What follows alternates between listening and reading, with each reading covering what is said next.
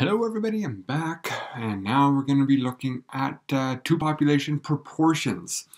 So we're slowly making our way through this module 10. It's a big module. There's a lot of different types of these two population tests.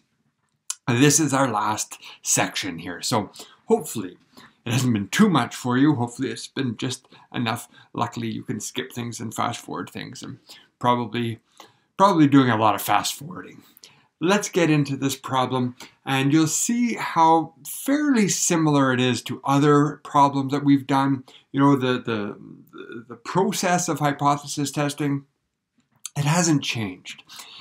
Here there's going to be one small little difference that results again from an assumption that we've been making from the beginning of hypothesis testing, which is always that assumption that the null hypothesis is true until we have evidence to show otherwise. and that assumption is going to come into some of our calculations here.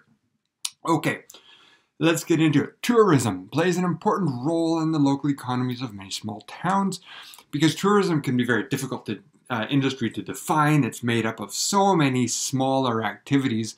You know, if we're looking at dining or, or different types of movies or golfing or mountain biking or boating, all these different activities make up tourism industries. We'll often use hotel occupancy rates uh, as a rough measure of the industry's overall performance. The following table provides hotel occupancy data for your hometown during the month of August for the uh, past two consecutive years.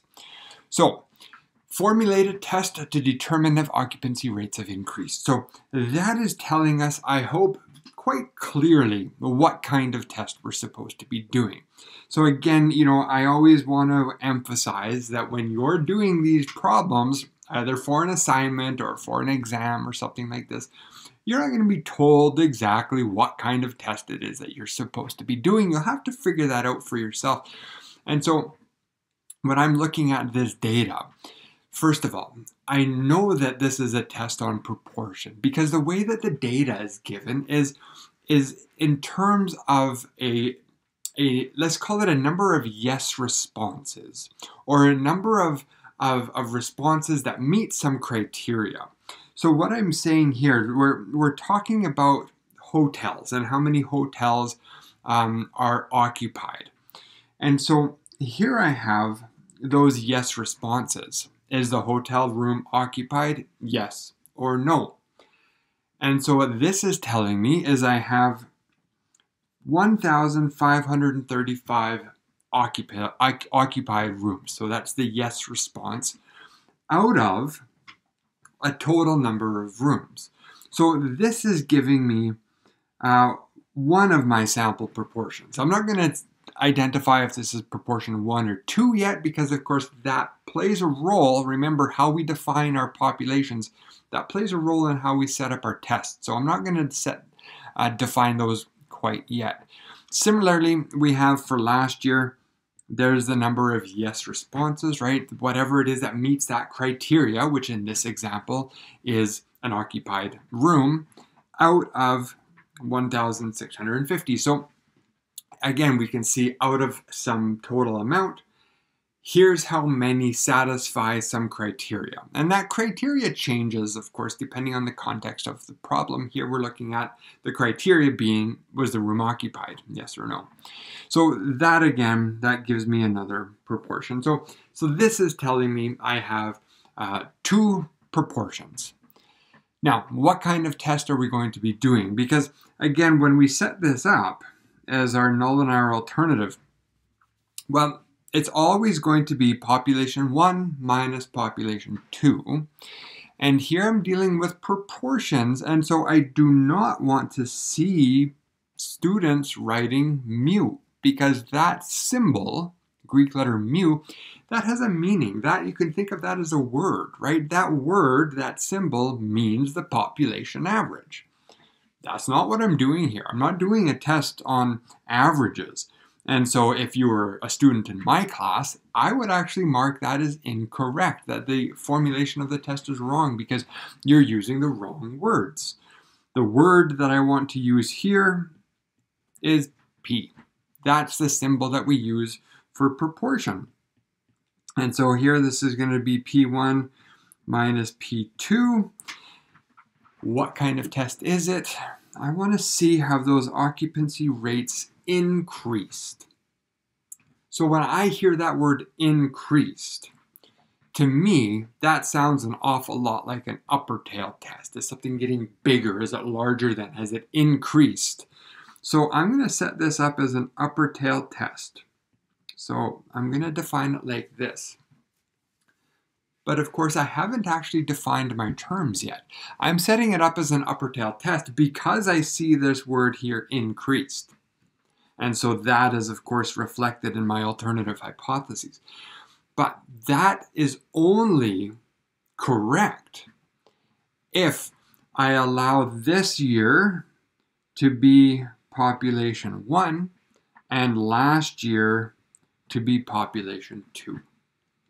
So based on those definitions, an upper tail test is correct. And because we have this hypothesized value of zero, I'm actually just going to write this like that. Let's get rid of this, and let's just go like that.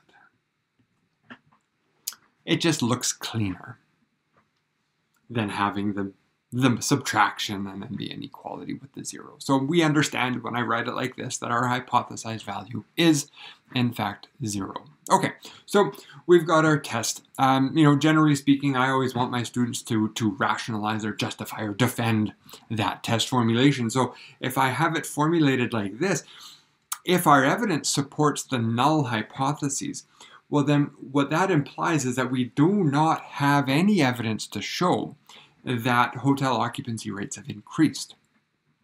If our evidence supports the alternative hypotheses, well, now I do have evidence to show that occupancy rates have increased between August of this year and August of last year.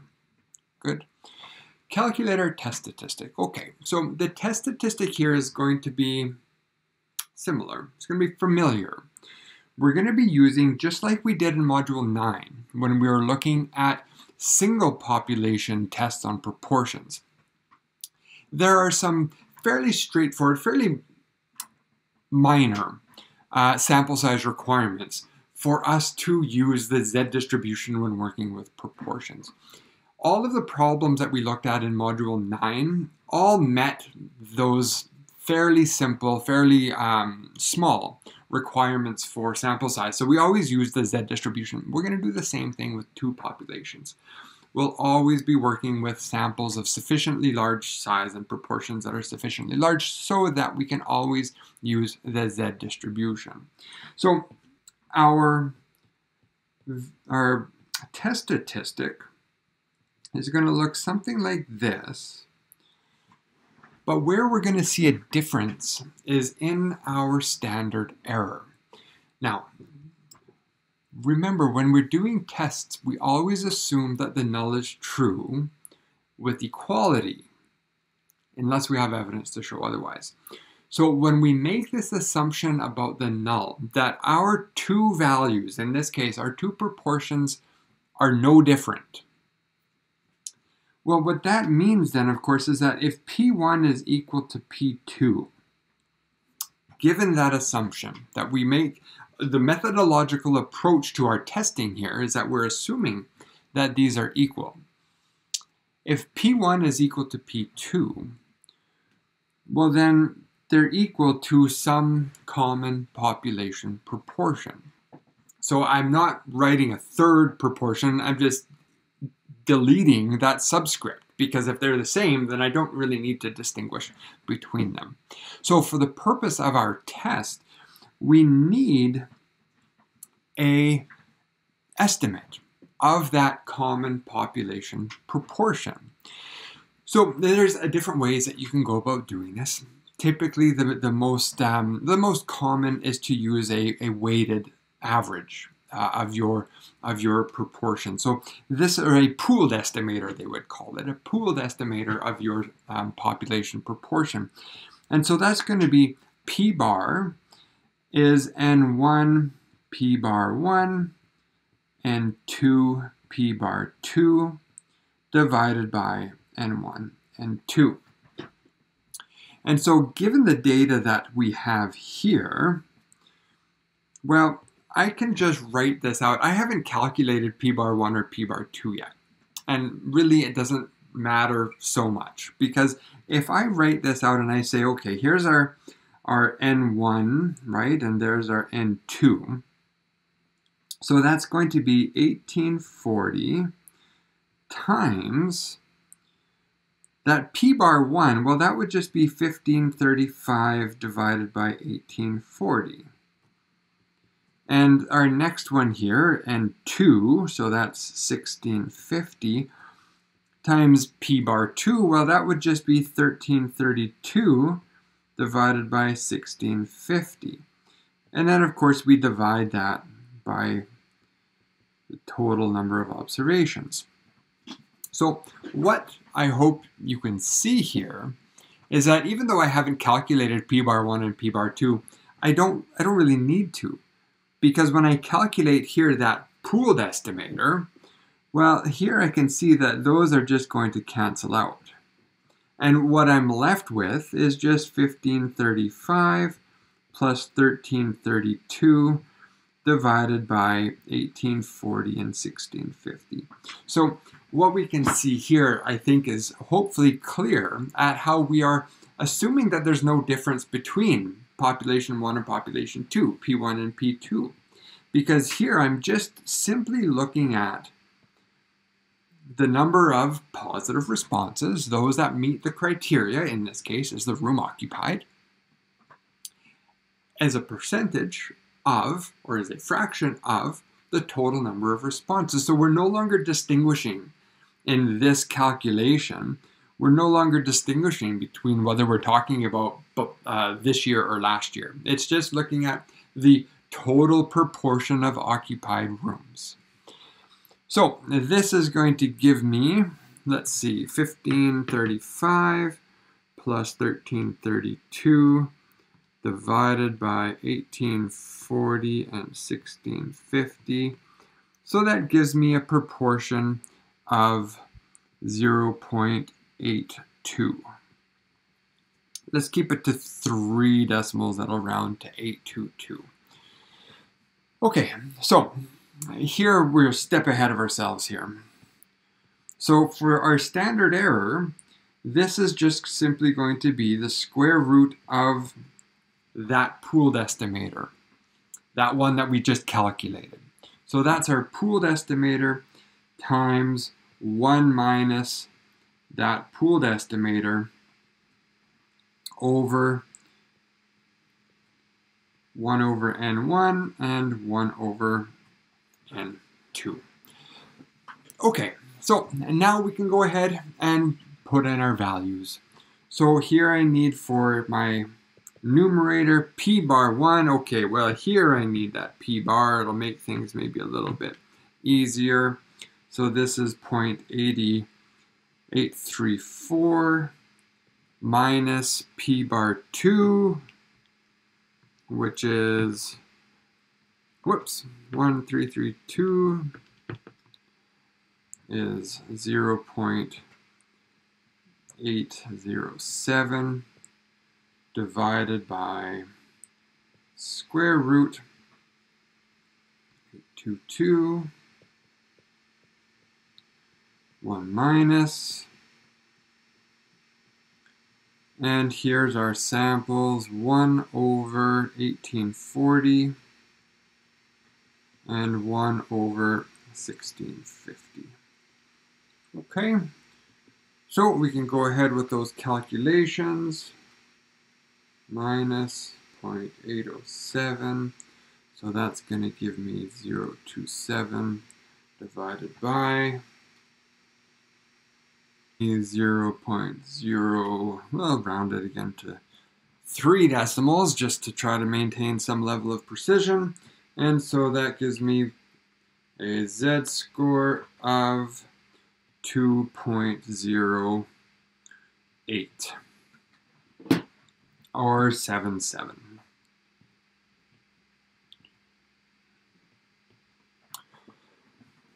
And the rest is, of course, the same as always. Now we go to our Z tables.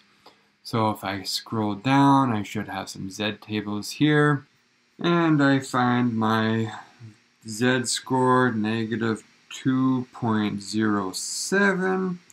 That gives me a p-value of 0.019. So coming back up to our problem here, corresponding p-value 0.019 and we're doing this test at the 0.5 level of significance. So with a p-value, certainly that is less than our level of significance alpha. We have fairly strong evidence here to reject that null hypothesis, which means, again, always focusing on interpreting our conclusions, we have fairly strong evidence to show that occupancy rates uh, between August of last year and August of this year, they have in fact increased. Okay, so that's all there is to it. I say that as if it was so simple, but I hope that you do see the similarities here and, and what we have done. The process is so, so, so similar. In this exercise, really the only little thing that is different for us is calculating this pooled estimator, which again is the result of this assumption that we've been using throughout all of the practice problems that we assume the null is true with inequality unless we have our evidence to show otherwise. And so this is the consequence of that assumption. And that assumption follows us through all of our calculations but then once we have our Z scores, we get the p-value, we draw our conclusion, we state our interpretation. it all sounds very repetitive. So, you'll all be masters in no time. So that's it for this video. We'll come back, we'll do a couple of more examples. Thanks for watching, everybody. I hope it was helpful. Bye.